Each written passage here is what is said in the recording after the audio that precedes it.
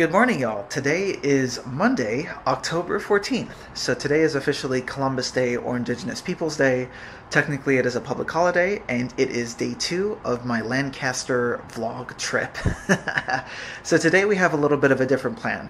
So what we're going to do today is we're actually going to be exploring an Amish town because that is literally the only thing that's open and also pretty interesting to do on the list of things to like do travel wise like here in Lancaster besides the museums and just exploring downtown. So I think for today the plan sorry I'm like holding the camera a little bit weirdly. So I think today the plan is to head out there take a lift because it's 7 miles away from downtown Lancaster where I'm staying. We'll explore I think they have 3 tours from the website for the Amish so it's an Amish town, right? But it's also kind of like a tour guide type of thing. So like there's a self-guided tour, there's a bus that'll take you like in the back roads, and then there's like an overall package. Um, I think like to do the overall package, you needed to register probably in advance. I think what's going to end up happening is we'll just do the self-guided tour, and then I'll just take the camera with me and I'll vlog, kind of like giving my own opinion, even though I know nothing about you know Amish country, but also showing y'all like what it's like.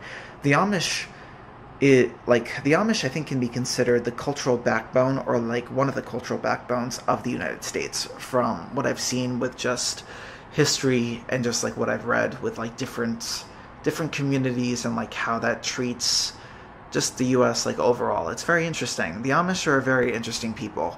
Um, and I'm excited to learn more about their culture as, you know, someone that just wants to learn in general. And I think that's the plan for today it's seven miles out there. We'll take a lift, and then I don't know what the rest of the day entails, truth be told, because everything is closed today on Columbus Day slash Indigenous Peoples Day. Like all the museums are closed. I think a lot of the restaurants are as well, except for maybe a few. So there are two options, I think, for the afternoon.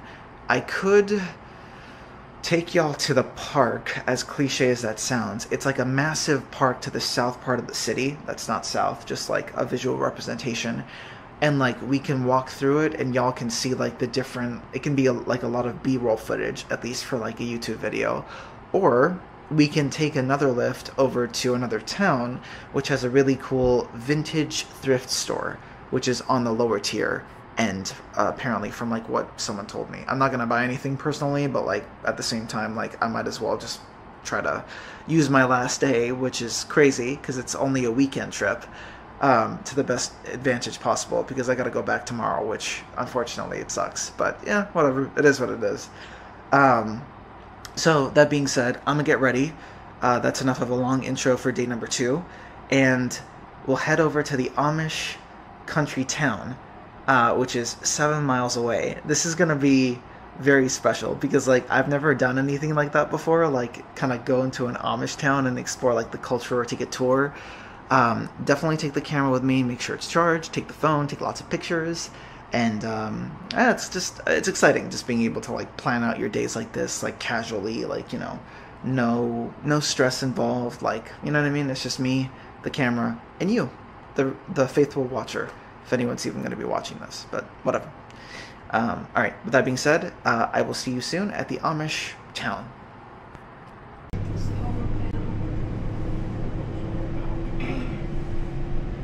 Solar panels. No commercially purchased electricity, no power cable running in. So why they have solar panels then? Well, in years past they would have had, and still do as backup, they would have a gas or a diesel engine that they would crank up to operate as a small generator to recharge batteries. Maybe a 12 volt battery like we start our car with to operate the turn signals or the running lights on their carriage.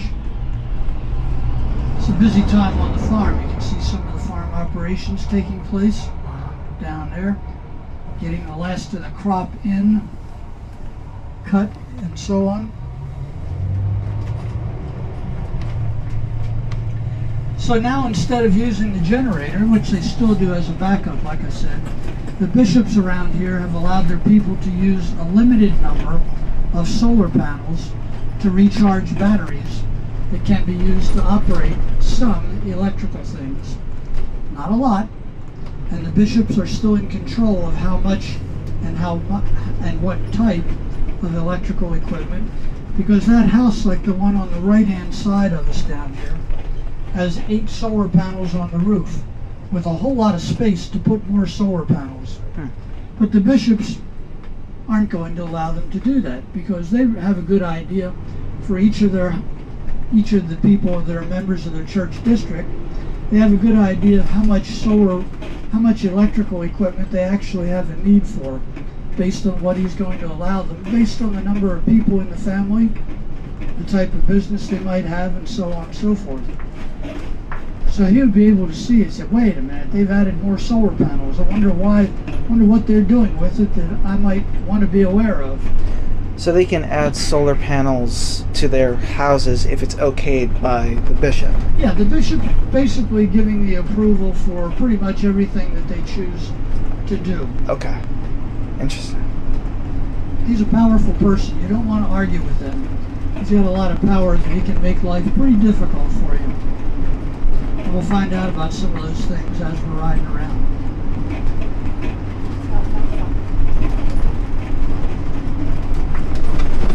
So coming down the hill, coming down into the Conestoga Valley. I'm going to stop up here by this next power pole right here on the right. And if you take a look down to the right, down this driveway, down this, this road right here, another Amish one-room school. There's over 300 of those throughout Lancaster County for educating the students of the Amish families. They proved to the Department of Education that their method of education from 30, 40, 50 years ago at least still works fine for them. And that basically means they get the basics of education in a one room school. And the basics that they get are grades 1 through grade 8. So at 14 years old, they're finished with their formal education. They're not going to grow up to be a doctor, an engineer, a lawyer, a scientist. They'll use us for those, they'll use us English people for most of those jobs. But they realize, except in extreme, ex- exclusive extenuating surface, circumstances, they're not going to be a doctor, an engineer, a lawyer, a scientist, and so on.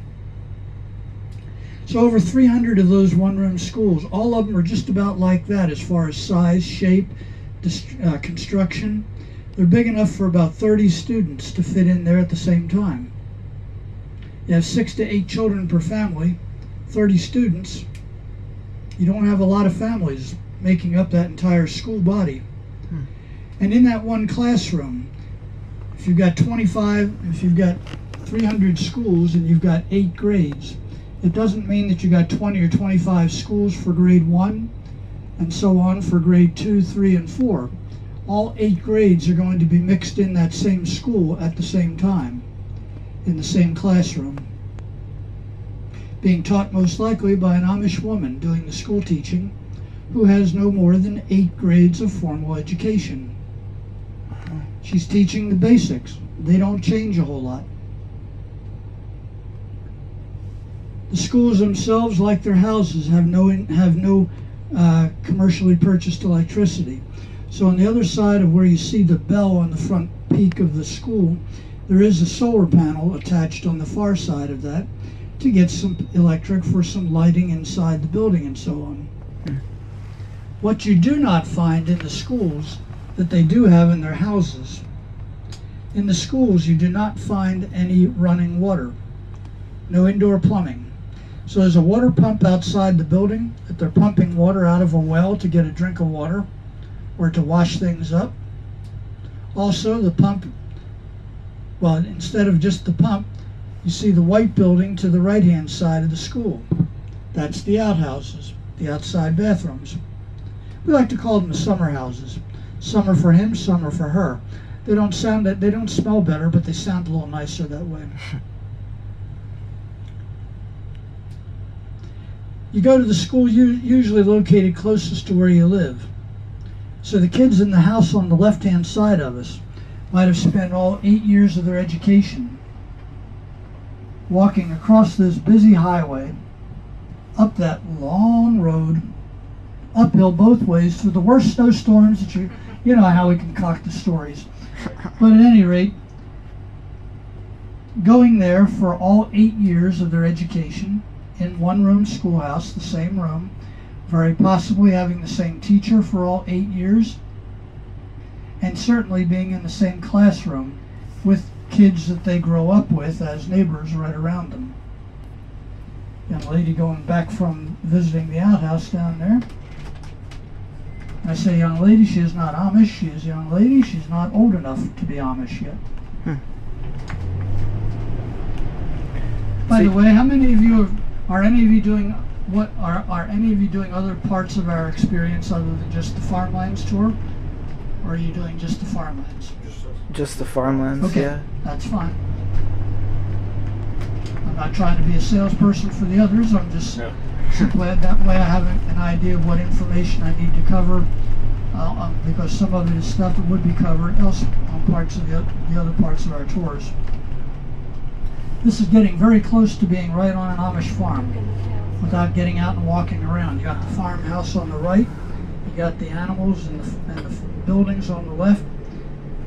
Well, except for the vicious guard dog that's laying up along the outside of the house. just, just threatening us terribly, I'm sure. But at any rate,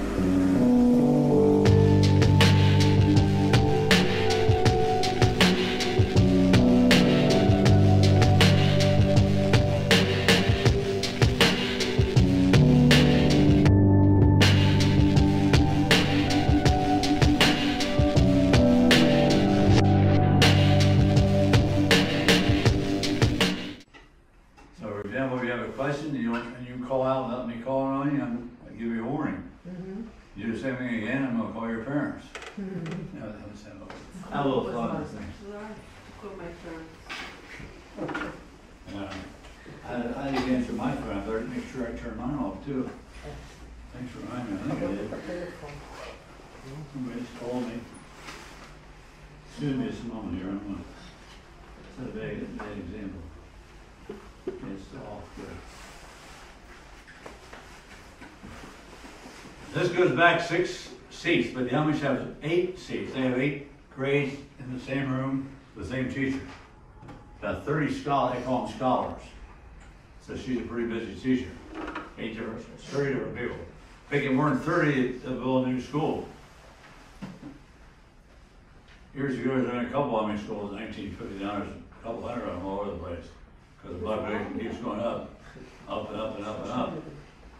Just a quick question, how many Amish, how many Amish do you think live in this Lancaster settlement? Would you guess, it's the world's biggest settlement right here in Lancaster? Hundreds, Pardon? hundreds, Uh, you're, wa- you're way low. oh, It's over forty-four thousand. It's twenty-five percent are Stoltzfuses. So it's pretty tough for the mail carriers. So you're in first grade. How many years have you been in first grade? You'll, you'll, you'll get past it. Just keep working. Okay. Teachers usually a girl around 18, 19 years of age. You've got an academic student, so they'll ask her, knock her door ask her to be a teacher. She says yes, before she teaches, she'll go to a workshop taught by veteran teachers before she teaches, so she learns how to teach. So you go up through grade eight, after grade eight, you go to a textbook, three hours a week, study German, arithmetic. As soon as the Amish young folks turn fifteen, all their schooling's finished. They don't go any further. Boys and girls, boys and girls, Please get your hand up. Okay, go ahead. boys and girls uh, stop to study at the age of 15. Once, once they, well, after fifteen, They stop, stop to learn at school. yeah, f- everything finishes, school age, Finish learns, school, you know, go, uh, beyond, beyond fifteen, that's all where they go. and then they go to work. Then they learn from their parents some skill. Okay. After uh, learning together, both Okay, girls. Okay, thank you. I should do that, they, but I like to have fun with the people. are they uh, learning together in the same class, boys and girls? Yeah, usually boys one side, not all the time, a lot of times, boys one side, girls the other side. Boys and girls on, on the same pot. Class. First school starts in the fall, the parents come, they, they clean the mow the grass, clean the yard, clean the, the school, that type of thing. The parents are very involved in their scholars' schoolwork. Once, in fact, once a year, the parents, some parent usually volunteers and invites the whole school to come to their house for a cooked meal. So when they have recess, they have lunchtime, they bring things they used to, maybe had last time for supper, pizza or whatever, or else they pack lunches. They get there by eight o'clock in the morning, school goes from eight till three. Uh, Recess, lunch, and recess. A lot of times at recess, they go out and the teacher will pitch, you'll be a teacher, teacher, they'll be the pitcher to play softball. What subjects did they learn here? Uh, a lot of them are here, well, is a lot of them all. The biggest one's math, because they learn, said you have to go, whatever you do in later in life, learn to count and multiply and estimate, so math is very important. They said about everything but science, they don't big on, big on revolution, that type of thing. But Every other subject they'll cover. Some won't like history or geography, only a couple times a week. But math is every day. Start off with salute, uh, you see up here singing devotions in the morning, Lord's Prayer and so on, sing a couple of songs. A lot of times the young folks will be asked to select the songs.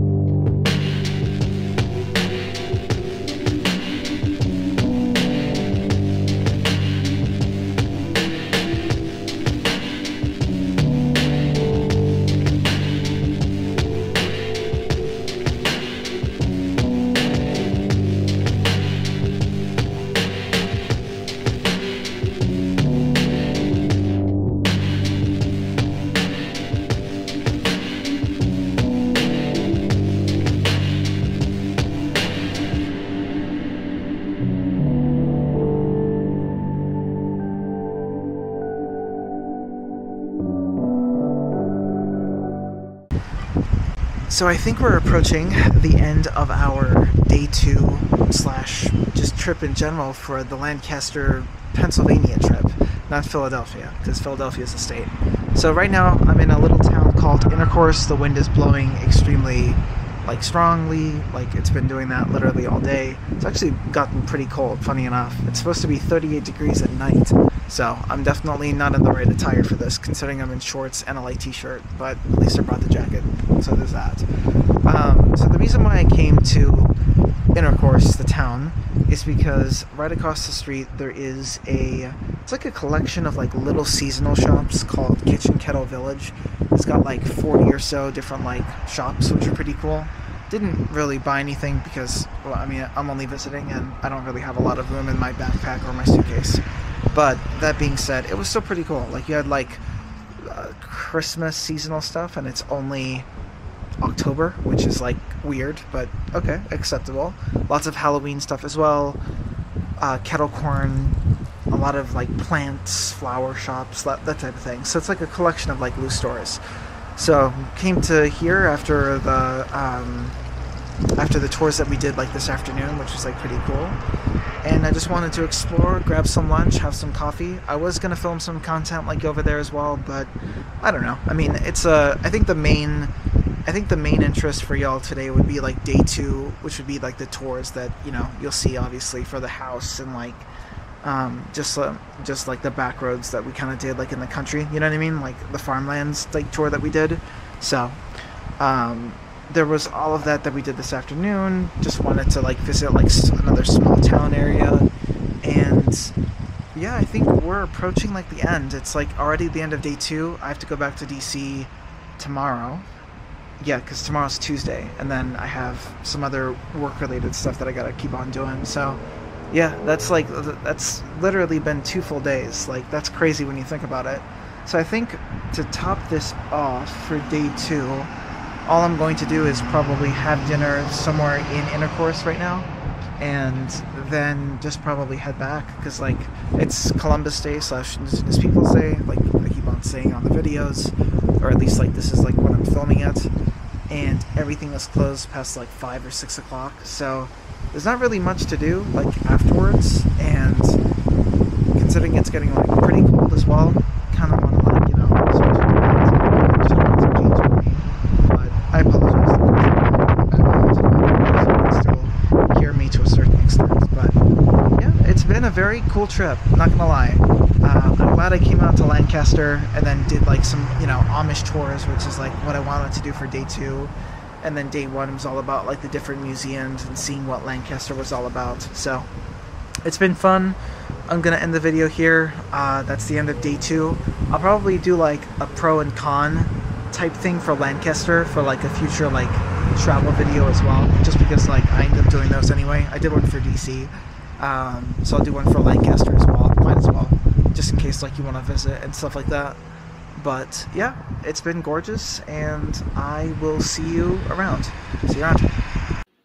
Make sure you like, share, and subscribe for more content. See you next time.